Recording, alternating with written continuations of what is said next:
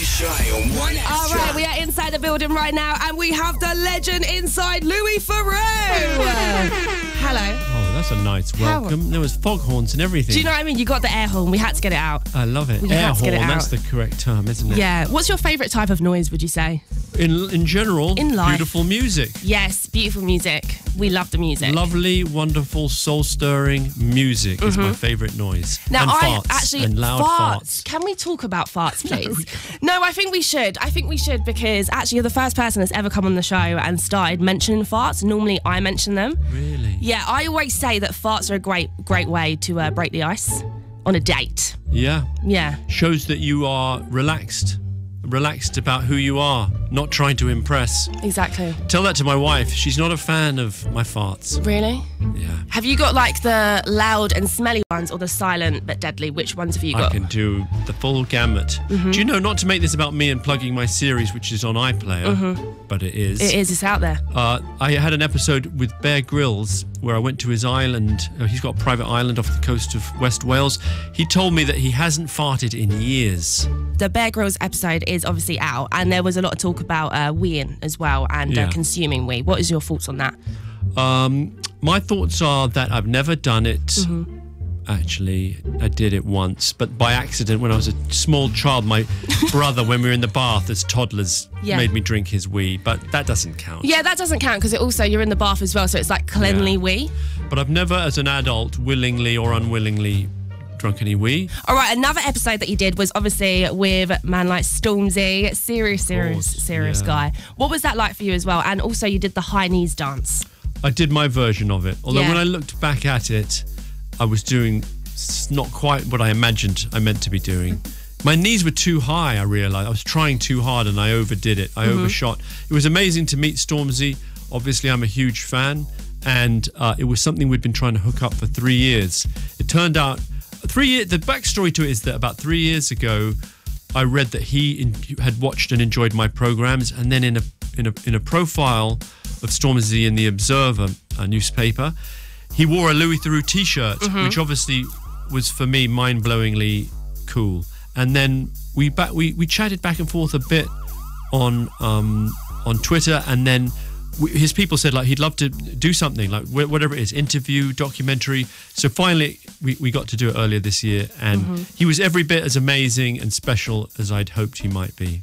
So so kind of just um, thoughtful and analytical and just absolutely an, an open book in terms of downloading his thoughts in a way that felt completely honest, not in any way uh, sort of trying to pose or be something that he's not. The, the, the other takeaway was he's got a geek side, which I really related to. So he's, I don't know if you knew this, but he's very big into Wordle, which I like Wordle. Wordle. And then he's like, he said, he said, Louis, but if you like Wordle, you've got to get to the next level, which is Nerdle, which is the maths version. Do you know oh about my Nerdle? god, no, I don't. So I tried to do that, and it was embarrassingly difficult. And I and I did it for a couple of days because we were sort of texting each other back and forth with our results. I like Storms. Here's my latest Wordle. I got it in three, and then I, and then he's like, "How'd you do on the Nerdle?" And I was like, "Oh." And I'd try and do it. and It would take like it was taking over my time. I'd do it for an hour, and then I get my wife involved and say, like, "I can't Mm-hmm. do this. This is this is embarrassing." So he's a maths boffin. I mean, you was in the house. Did you see the serious bar that was behind you guys when you was uh, Of course. talking? Yeah, amazing. There but he doesn't. Mm-hmm. even drink. I mean, he drinks tiny amounts. The man is clean living. His um his vice, such as it is, seems to be McDonald's. Yeah, Other fast food options are also available. exactly. But he likes he you know and because I saw him on the last night of the tour, he and he'd been super focused on keeping fit and eating and eating well. So as a result, his his big blowout after the last night in Glasgow was to get a massive McDonald's order in and and just eat a bunch of fries, some McNuggets, some burgers. Yeah. That was like I thought like, well, aren't we going to kick back and you know pop some champagne or like a little bit of you know some whiskey shots or Yeah. tequila shots, and that was definitely not on the menu. Okay, just a Big Mac, really. It was like, no, but you can have some more fries. Yeah. When I was researching you, do you check a lot of the comments that are on YouTube? Not really. Okay, well, I did. Um, a lot of the comments were saying that they want you to narrate audiobooks or do ASMR. Are you familiar with ASMR? I am. Yeah. yes. Yeah. In front of you, we can see uh, some of Stormzy's lyrics from Shut Up. Oh yeah. Uh, you don't have to rap them along, but if you could just, you know, do a little ASMR uh, sensation to Stormzy. Shut up. Is this all I'm doing? You gotta read the lyrics as Oh, well. I'm reading them. Yeah. You don't have to rap right. them. State your name, cuz. You gotta whisper. Stormzy in it. What we doing today? Repping in it. Yeah. Fucking repping in it. Fucking rapping. Yeah. Yeah. Fire in the park. Let's go. Let's go. That's probably enough of that, don't you think? I think a little bit more. Let's just get to the chorus. Man try say he's better than me. You gotta whisper. Tell my man shut up. Shut up. Mention my name in your tweets. Tweets. Oi, rude boy. Shut up. Shut up. Better than me. Shut up. Best in the scene. Tell my man, yo. Yo. I like that one. Couple man called me a backup dancer. Do you think that's enough? I think that. I think, I think that is perfect. I think that is dear. perfect. That was great. What would your rap name be? If you was a Uh. I used to have a rap name. Okay. And in a sense, I still do. Uh, when I when I was coming up in the late '80s, when I first started listening to rap, um, I went by King Louis. King Louis. Yeah, yes. yeah. And in fact, uh, um, there was a there was another rapper called King Lou, I think, who was with uh, a group out of Toronto called Dream Warriors. Mm-hmm. My definition of a boomtastic boomtastic jazz sound or something. They were they had a big hit. So, but I think I got there first. Mm-hmm. Yeah. So th- it's a bit like the real Roxanne and Roxanne. Like there was a bit of a fight on my side over the King Lou rap moniker. Mm-hmm. But um, now I've got a rap out. I Yes. mean, not boasting. Uh, my money don't jiggle jiggle. Maybe Yeah. you've heard of it. And I, think have. I I've- mean, Jason Derulo there as well. Jason Derulo remix. But I think I'm just credited as Louis Theroux. So technically, that's my rap name. Mm-hmm. That is your rap name. Louis Theroux. Yeah. That's all right. Do you remember? I I'm don't know. Do you it. Mike Jones? I'm, I interviewed Mike Jones, who was a rapper from the South, Mm-hmm. and I was like, "Well," I said to him, "Is like, is that because you're jonesing for the mic?" M- jonesing used to be a slang meaning like, um, I'm, I'm craving it. Like Okay. I've got a Mike Jones. I've got a Jones. He said, "No, my name's Mac Jones. That's just my name." there we go. It happens. And now you're Louis Theroux. Yeah.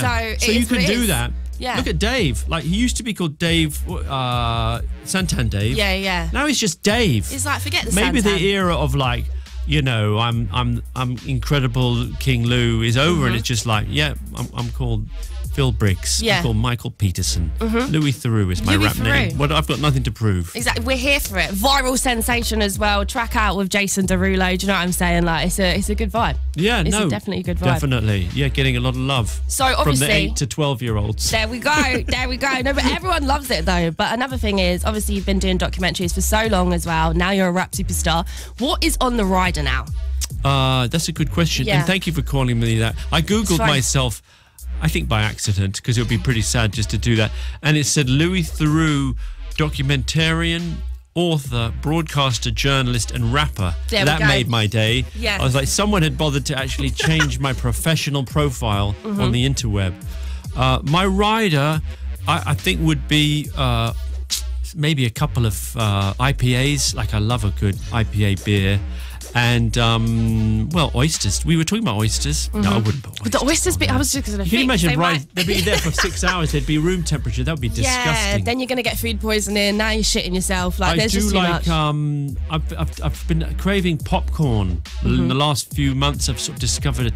So maybe some nice popcorn. yeah. I'm pre- I'm a man of simple taste. There we go. A little bit of beer and then some popcorn yeah, as well. popcorn to soak it up. Yeah, salt and sweet. tequila as called. well on the right. Can I add We that? Is it need- true? Can yeah. I keep changing the right? Do you know Because what? once you come off stage, then you need something stronger. Yeah. Sorry, didn't This mean is to the thing. interrupt your No, no, flow. no. But tequila's needed because I would And need some some, sort limes. of yeah limes there as well. Don't forget. I the was filming Prosecco. with Rita Ora, Yeah.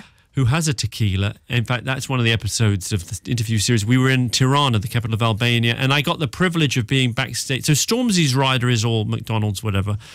But then backstage with Rita Ora, and she had a, a whole range of lovely beers and tequila, and, and I was like, that's the kind of ride. And she'd gone off by a week. She came off stage after doing her gig, and she'd got on her private jet, and there I am backstage, basically in her dressing room, unsupervised making hay out of her ride. I flipping was loving her rider. What was going off over there? Oh, big time! A lot of tequila, mainly. Yeah, like and I think I have another one of those. Thank Uh-huh, you. Just like shutting it up. Yeah. Yeah. Louis, thank you so much for coming on the show. Thank you for having Let me. the people know what is going on. Obviously, Rita Ora episode is coming out. Basically, it's an amazing episode, and I got to meet not just her, but her uh, significant other, Taika Waititi, legendary writer, director, and actor, and um, hung out with them in LA a little bit, and. Uh, and then also the other five episodes are all up on iPlayer. So there's Stormzy, Dame Judi Dench, Yungblud, Katherine Ryan, Bear Grylls, and uh, they're all different, all special. So check them out. And yeah, thank you for watching. Check them out, guys. Otherwise, you're not snakes. All right. Thank you. There we go.